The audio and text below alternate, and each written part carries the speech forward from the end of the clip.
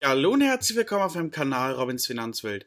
Heute habe ich mal wieder die aktuellsten Aktien-News dabei und zwar für die Warta, NIO und für die Tesla-Aktie. Wir schauen uns mal ein bisschen an, was bei den Unternehmen gerade aktuell los ist. Hier ist auf jeden Fall ganz, ganz viel los und wir gehen auch dann auf die Charts gemeinsam ein, was hier aktuell wichtig sind, auch welche Marken wichtig sind. Also bleibt auf jeden Fall dabei, wird mega spannend und das Ganze für euch natürlich kurz, knapp und kompakt zusammengefasst.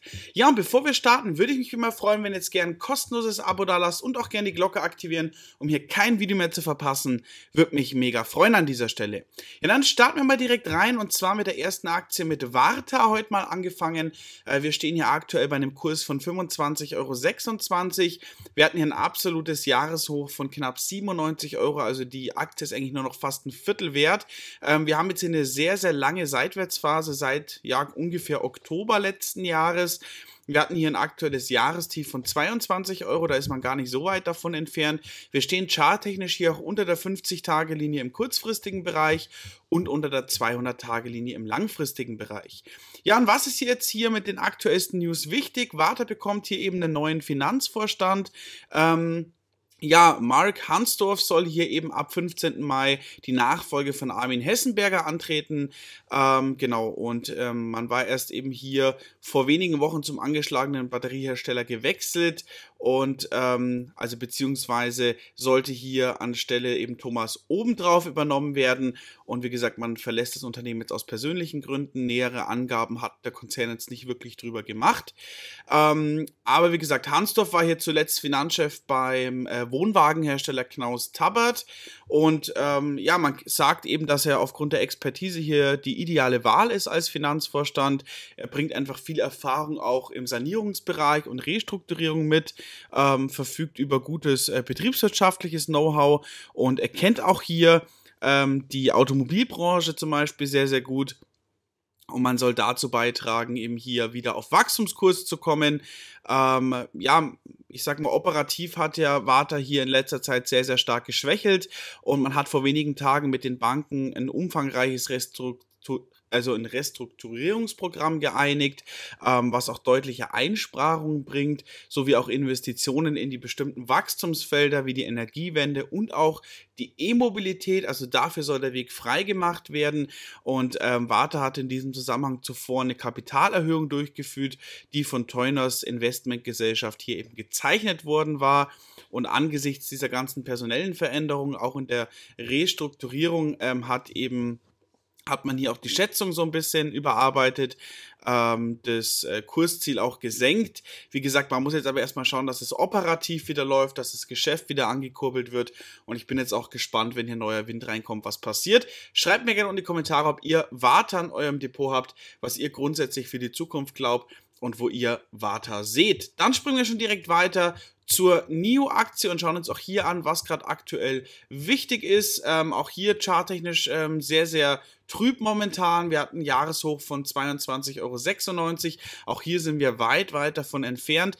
Heute allein Tagesminus von 8,5 Prozent. Das tut schon ziemlich weh, wenn man da drauf schaut. Aktuell haben wir einen Kurs von 8,92 Euro.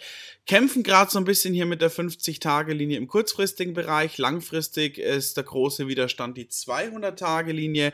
Nach unten sollten wir hier eine Absicherung haben im Bereich von 7,70 Euro. Das bildet das aktuelle Jahrestief aus. Ähm, jetzt ist so die Frage, kriegt man die Kurve? Hat man sie schon gekriegt? Oder wie soll es weitergehen? Ähm, die Entwicklung bei NIO verläuft nicht wirklich unabhängig vom E-Auto-Sektor, sondern sehr, sehr stark abhängig sogar. Ähm, auch äh, BYD, ich hatte es jetzt erst auch hier wieder auf einem Kanal heute, hat sich beispielsweise sehr, sehr stark wieder erholt.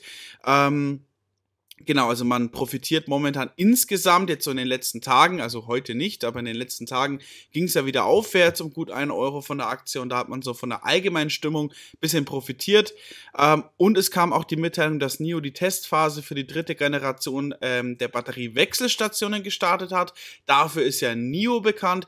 Sie bieten hier quasi an, dass ihr mit dem mit eurem NIO ähm, hier in Batteriewechselstationen fahren könnt und innerhalb von fünf Minuten ist die Batterie gewechselt und ihr könnt mit einer vollen Batterie weiter weiterfahren. Das Ganze ist tatsächlich auch bei uns in Deutschland schon möglich, wurde auch schon ähm, von dem einen oder anderen getestet. Also vielleicht gerne mal auf YouTube-Videos schauen, wie das Ganze aussieht ähm, und wie das funktioniert. Ich finde es eine ganz, ganz spannende Sache.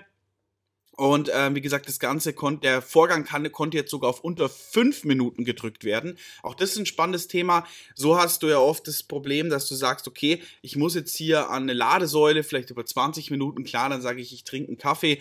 Aber es ist natürlich schon sehr, sehr charmant zu sagen, ich kann vielleicht binnen drei oder vier Minuten meine Batterie tauschen lassen, zack, fahr weiter und ähm, habe wieder eine volle Batterie. Ähm, ja, und äh, NIO gilt auch ohnehin als durchaus konkurrenzfähig hier im E-Autosektor, das darf man auch nicht vergessen. Ähm, sie sind auch bei uns in Deutschland eben schon angekommen und auch die Fahrzeuge sind softwaretechnisch auf dem brandaktuellsten Stand und auch mit der modernsten äh, Technik ausgestattet. Ähm, und ähm, genau, entscheidend auch natürlich für den Gesamtmarkt. Und zuletzt ja, lief es in China nicht mehr ganz so gut wie erhofft, ähm, auch weil viele Hersteller auf den Markt drängen natürlich. Also hier kommen viele dazu. Ihr wisst, Xiaomi kommt mit auf den Markt.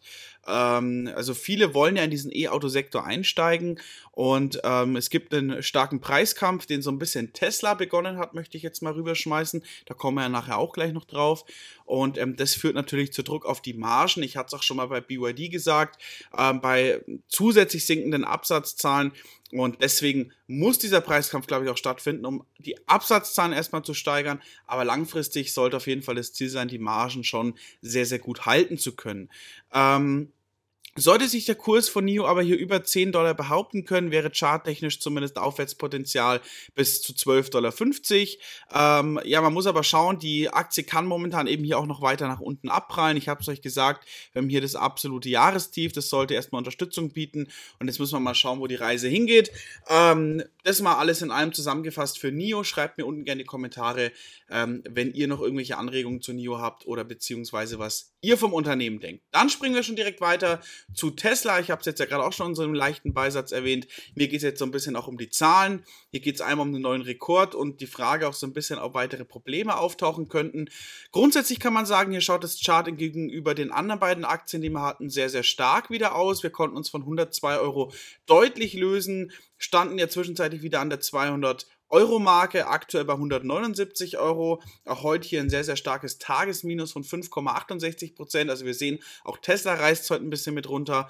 Aber wir haben es hier noch geschafft, über der 50-Tage-Linie zu bleiben. Also das ist auch gerade eine ganz, ganz wichtige Unterstützungsmarke. Nach oben hin wäre hier der Widerstand eben auch an der 200-Tage-Linie. Ähm, genau, und an sich hat Tesla hier den besten Jahresstart der Geschichte verzeichnet, was die Aktie betrifft. Ähm, sie haben ja eben die Preissenkung gestartet und es hat den Kurs beflügelt ähm, und auch, wie gesagt, zwischenzeitlich über diese 200-Dollar-Marke gebracht. Ähm, Genau, da war einfach eine sehr, sehr starke Euphorie da und Tesla hat jetzt auch am Wochenende hier gute Zahlen zu den Auslieferungen und auch zur Produktion bekannt gegeben. Ähm, die Strategie, eben das Volumen über die Gewinnmarge zu stellen, scheint momentan aufzugehen seitens von Tesla. Ähm, man hatte hier 421.164 erwartete Autos erwartet im ersten Quartal. Ähm, tatsächlich wurden 422.875 Autos ausgeliefert. Äh, Im letzten Quartal hat man hier 405.000 Euro, äh, 405.000 Elektrofahrzeuge an den Mann gebracht. Das heißt, man konnte sogar zum letzten Quartal nochmal steigern. Ähm, Genau, und ähm, ja, in den letzten Monaten unterlag Tesla so ein bisschen von eingeschränktem Angebot hin zu eingeschränkter Nachfrage. Deswegen musste man reagieren. Und ähm, genau, wie gesagt, das, also dieser Ansturm ist wieder ein bisschen gekommen aufgrund der Preissenkungen. Und jetzt müssen wir schauen, wie Tesla weitergeht. Ich werde für euch weiter mit an Bord bleiben. Wie gesagt, grundsätzlich kann man sagen, dass es sehr starke Auslieferungszahlen waren, aber Unternehmen wie BYD und Co bleiben auf jeden Fall hier ganz klar auf Kurs. Äh, Wenn es euch interessiert, gerne mal ins BYD-Video reinklicken bei mir auf dem Kanal. Und ähm, schreibt mir auch in die Kommentare, welche Aktien euch noch so interessieren. Ähm, dann nehme ich die gerne mit auf, beziehungsweise bringe Updates. Ähm, ich hoffe, ich konnte euch heute wieder so ein bisschen Einblick geben, was aktuell los ist. Und wenn euch mein Video und mein Kanal jetzt gefallen hat, dann lasst doch an dieser Stelle gerne ein kostenloses Abo da.